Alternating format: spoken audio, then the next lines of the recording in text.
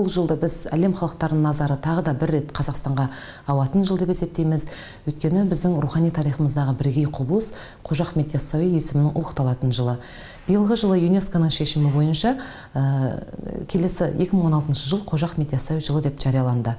Сондықтан осы үлкен тарихи атаулы оқиғаға сәйкес көптеген түркі халықтары жалпы яссауиді пір тұтатын халықтар оның ішінде яссауи ә, кітаптарын белгілі бір дәрежеде танып білген мемлекеттердің өздері үлкен жобалар жасап жоспарлар бағдарламалар жасап яссауи есімін ұлықтауға кірісіп те кетті.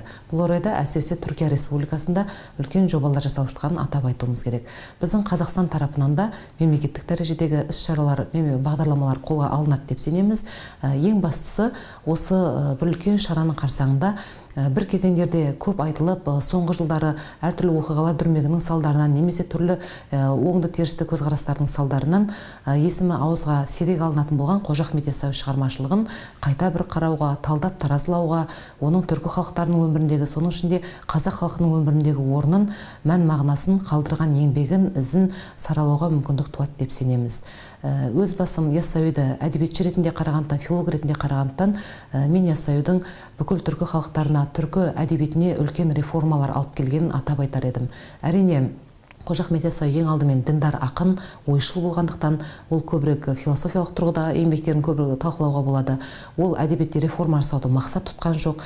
Бірақ текті таланттың табиғи тегеуріннің тартып алмайтын көңілі қоры болмайды. Сондықтан бұл да яссауидің өзінің табиғи таланты туғызған бір үлкен үдеріс. Яссауидің арқасында бүкіл түркі халықтар әдебиетінде хикмет жанрының негізі қаланды. Бұл жанр өзінің бастауын шығыс классикалық әдебиетінен алғанымен жанр ретінде толыққанды ешбір орнықпаған болатын. Яссауи ақындығы мектебінің өкілдері күні бүгінге дейін қазақ даласында қызмет етіп соның соңғы сілемдері жалғасып келе жатыр. Бүкіл қазақ ақын жыраулары яссауи ақындығы мектебінің өкілдері болып саналады. Бүкіл орта азияда хикметші ақындар мектебі деген үлкен мектеп қалыптасты. Жалпы нәзира көйлек әдіспен яссауи хикметтерінде көптеген адамдар жырлап шықты. Және ең бастысы яссауи хикметтері ол тосыннан пайда болған құбылыс емес. Оның алдында бүкіл көне түркі халықтарының сонау орхон-енисей жазуларынан басталған оғыз қаған жырында қорқыт ата жырларында әл фарабидің өлеңдерінде құтты білікте жатқан көптеген сарындары қайта жалғасын тапқан. Яғни яссауи өзіне дейінгі түркі халықтарының әдебиетінде жаңғыртқан және сол кезеңге дейін таныс болған араб парсы әдебиетімен де молынан сусындаған. Осы үлкен әдебиеттердің әдеби жанрлардың симбиоз жанры ретінде көп құрамды аса бай көрнекті жанр ретінде хикмет жанрын жасап дүниеге келтірген қожа ахмет яссауи сондықтан біздің алдымызда әлі яссауи шығармашылығын сан қырынан зерттеудің үлкен мүмкіндіктері тұр. Әсіресе яссауи хикметтерінің дұрыс толыққанды бір таза аудармасын жасау қажет. Яссауи хикметтерінің каталогын жасау жұмыстары да осы күнге дейін толыққанды іске асырылған жоқ. Аударма мәтіндерімен жұмыс істеген авторларымыз кейде аудармадағы қателіктерді аңғармай яссауидің өзінің мәтіні ретінде талдап отыр.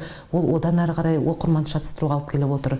Сондықтан үлкен елдік қадам жасау үшін біз осы орайда яссауидің ақындық әлемінде оның жалпы философиялық әлемін ол негізін салған рухани моральдық ілімді түстеп тануға үлкен бағыт ұстауымыз керек.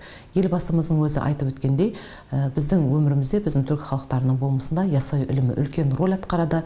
Түбінде қазақ халқының тарихы жазылар болса қожа ахмет яссауи есімі оған алтын әріптермен енуі тиіс деген сөзі елбасымыз айтқан болатын. Сол юнеско-ның әрбір шешімінде міндетті түрде сол тұлғаның қайраткерлік еткен тұлғаның өсіп өркендеген мемлекеттің бастамасы тұрады. Бұл жерде де біздің қазақстанның үлкен бастамасы бар деп ойлаймыз.